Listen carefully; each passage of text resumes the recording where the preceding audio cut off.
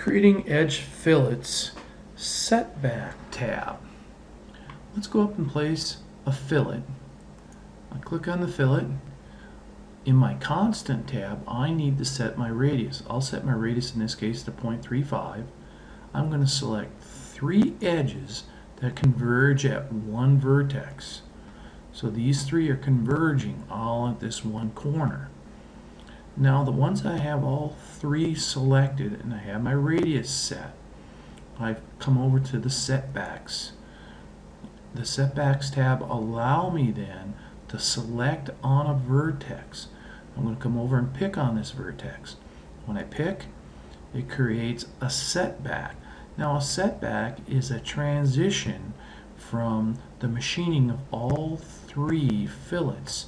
It allows a smooth transition from this this vertex in each direction.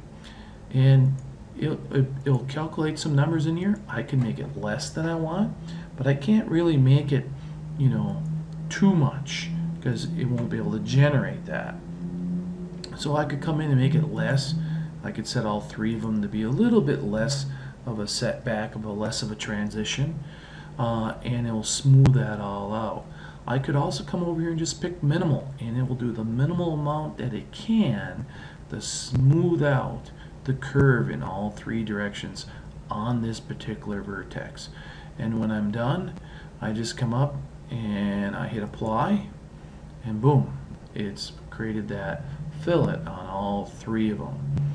And so I can close my dialog box now and I have now created fillets with a nice setback so this corner's nice and smooth.